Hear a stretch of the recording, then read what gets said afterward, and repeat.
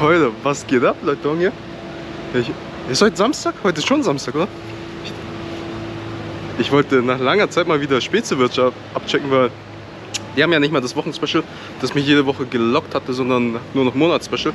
Das heißt, wir müssen nur noch einmal im Monat vorbeischauen, aber die haben irgendwie nicht offen. Keine Ahnung, was da los ist. Komisch, komisch, komisch. Puh. Nein, das ist nicht von Speziewirtschaft. Das ist ein saftiges Köfte-Sandwich. Warte. Hinter dem schwarzen Schild. Diese gut. Diese gut in München. Habe ich schon mal abgecheckt. Als direkter Vergleich zu Khatas Hawalgel Köfte, was äh, gestern krass abging. Hab die Insta-Stories gesehen. Und ja, eine Menge los, aber taugt halt überhaupt nicht. Vor allem nicht im Vergleich zu dem hier, Mann. Puh. Der war sogar teurer als der von Qatar. Aber nur weil ich extra Halloumi bestellt habe. Köfte Halloumi gönne ich mir immer. Aber ganz andere Liga, Mann. Schaut euch das an.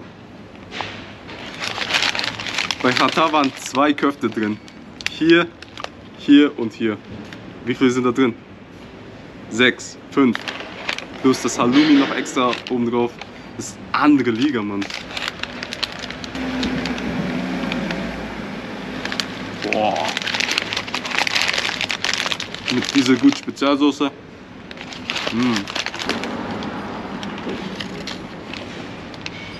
Gut verteilt. Wir haben nicht das Problem mit Hälfte Köfte, Hälfte gar nichts. Brot ist besser.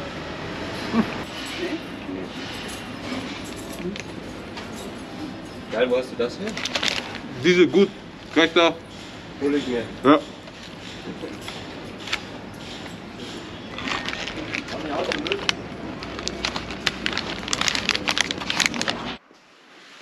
Schaut mal, was ich hier habe. Habe ich hier gesehen. Ich weiß, die haben zwei neue Sorten. Ich weiß gar nicht, was die andere Sorte ist. Und das Melone. Melone mit Minze, okay. Äh, habe ich mir jetzt die kleine Version gekauft, anstatt online wieder eine fette Portion zu kaufen. Ich habe immer noch eine Kiste hier stehen. Natürlich der direkte Vergleich, wobei Minze, das kann man glaube ich gar nicht vergleichen mit Capis Melone. Die haben einen Honigmelone, den feiern wir. Aber jetzt normal Melone. Melone Minze.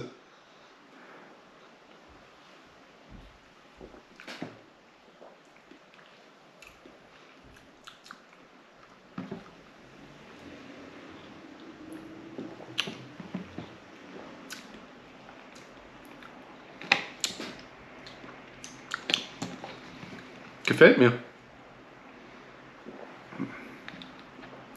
Mm. Oh, gefällt mir sehr. Es hat so eine Süße und dann kommt diese Minze. Oh Mann! Und dann kommt diese Minze. Krasse Kombo. Hm. Also der gefällt mir sogar besser als äh, Honigmelone. Krass. Hm. Bin gespannt auf den anderen, wenn ich den anderen noch sehe. Nicht schlecht, Gross. Nicht schlecht. Wo sind die Jungs? Was ist da los? Fragen viele. Es war schon, glaube ich, der zweite Freitag. Äh, keine Ahnung. Jeder zieht sein eigenes Ding durch. Eigentlich ist nur Nico verschwunden. Der ist schon Monate verschwunden. Momentan wieder im Urlaub. Nico Way neues Video. Oder sogar mehrere neue Videos. Und Tati, ich würde sagen seit einem Monat, aber ich glaube, mein Zeitgefühl trügt mich und es sind schon zwei Monate oder so. Äh, Stress, Arbeit, wieder Schmerzen im Rücken. Äh, Barisch war am Start gestern, nur war ich und sonst keiner am Start, also keiner war am Start. Und er ist einfach so gekommen und hier war es leer. Dementsprechend gibt es hier erstmal eine Sprachnachricht. Moment. Sorry nochmal, ich war abgelenkt. Äh, heute echt leid, dass du gestern da warst, aber äh, also ich bin gegangen, ich habe nicht mehr erwartet, dass irgendjemand kommt. Hat er halt abgesagt und von Chong kam gar nichts mehr. Und Primetime steht und fällt ja mit Chong. Aber äh, wir sollten uns auf jeden Fall mal wieder treffen, regelmäßiger treffen oder allgemein überhaupt mal treffen. Und auch, äh, muss ja nicht Primetime irgendwie Freitag sein. Keine Ahnung, irgendwann mal anders. Auch wo wir früher nicht nur Freitag gestreamt haben oder an einem anderen Tag war ja auch chillig. Also, wenn was geht, Jungs, gibt's einfach Bescheid. Aus dem Bällebad, oder? Äh, ich habe ein paar Nachrichten reinbekommen bezüglich Spieletrend. Yo, Hong, hast du das schon mitbekommen? Was ist deine Meinung dazu? Habe ich natürlich mitbekommen, auch wenn ich äh, nicht regelmäßig oder eigentlich gar nicht die Videos von Spieltrend schaue, bekommt man natürlich mit. Ich folge immer noch auf Twitter dies, das. Und wie gesagt, habe eine Menge, nicht eine Menge, ein paar Nachrichten reinbekommen, die gefragt haben, Jo, was ist deine Meinung dazu? Ja, was soll ich sagen? Also, schauen wir uns erstmal den Bann an sich an. Also, das ist, glaube ich, der zweite Bann. Also, 30 Tage ist er jetzt gebannt und davor hat er schon eine Verwarnung für, ich glaube, sieben Tage. Ich bin mir nicht mehr sicher. Ähm, an sich hat das ja nichts zu bedeuten, weil das System von Niantic ist ja fehlerhaft. Das heißt ja nicht hundertprozentig, dass er irgendwas gemacht hat. Viele Unschuldige werden kriegen Verwarnungen und viele, die, die anders hat, cheaten, kriegen gar nichts. Also ist ja voll das fehlerhafte System.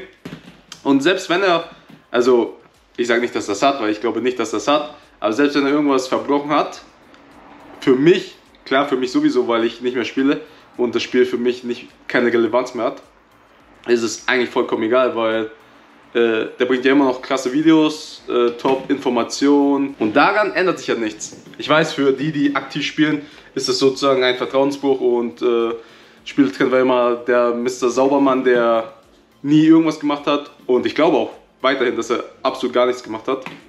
Als Content Creator ist es natürlich dumm, wirklich dumm, weil einen Monat bist du halt gebannt, kannst halt dein Zeugs nicht mehr machen.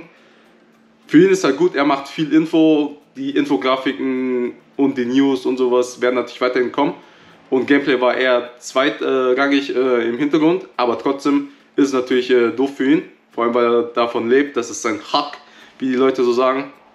Und dass Niantic da gar nicht aufpasst, also selbst, okay, die machen den Fehler, kein Problem, aber Spieltrend ist ja so eine große Person, so eine, spielt ja so eine große Rolle in der Dachregion, einfach größter deutschsprachiger Pokémon Go YouTuber, Content Creator, dass wenn er einfach da auf Twitter geht oder irgendwie eine Kontaktperson anschreibt oder irgendwas macht, dass die Leute sich sofort, also die Leute von Niantic sich sofort drum kümmern sollten und äh, das regeln sollten.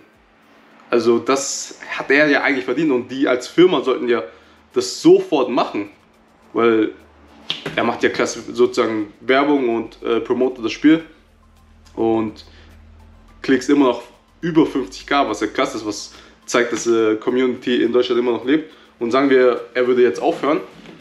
Sagen wir zum Beispiel, ich habe aufgehört, das hat nicht wirklich jemand gejuckt. Ein paar habe ich motiviert, ein paar habe ich demotiviert sozusagen dann, wo die gesagt haben, ey Hong, äh, du hast aufgehört, ich habe auch aufgehört sozusagen. Und wo ich gespielt habe, Hong, du, du spielst das anders krass, motiviert mich, ich spiele das auch anders krass. Aber meine Reichweite, meine Wirkung, Auswirkungen natürlich nicht so krass. Aber wenn jetzt ein Spielertrend sagen würde, er hört auf, wegen sowas, ich glaube schon, dass viele dann nur wegen ihm noch spielen oder da reinschauen und sagen würden dann, wisst ihr was, ja, selbst wenn er aufhört, wenn sogar Spieltrend aufhört, dann höre ich auch auf. Und deswegen als Niantic sollte man sich direkt drum kümmern. Also keine Ahnung, was da bei Niantic los ist. Aber ja, was soll ich sonst dazu sagen? Denke ich, dass er irgendwas verbrochen hat? Nö. Ist es doof von Niantic? Auf jeden Fall sollte auf jeden Fall schnellstmöglich geregelt werden. Kuss geht raus an Spieletrend. Wir sind weit entfernt von den 20k US-Dollar pro Bitcoin. Keine Angst, Leute. Keine Angst, er wird diese Wette nicht gewinnen. Das ist was von mir. Wir sind wieder auf 34, 35k sogar. auf jeden Fall, das war's von mir, Leute. Und meiner Meinung zu dem Ganzen. Nix nichts allzu großes. Leiden für ihn. Es ist mega Leiden, einen Monat gebannt, gesperrt zu sein. Aber wenn man Cash schlau hat, dann wäre das kein Problem. Investiert in Bitcoin und DFI, Leute. Cashflow generieren, folgt mir auf Twitch und Instagram. Das war's von mir, Serious Business.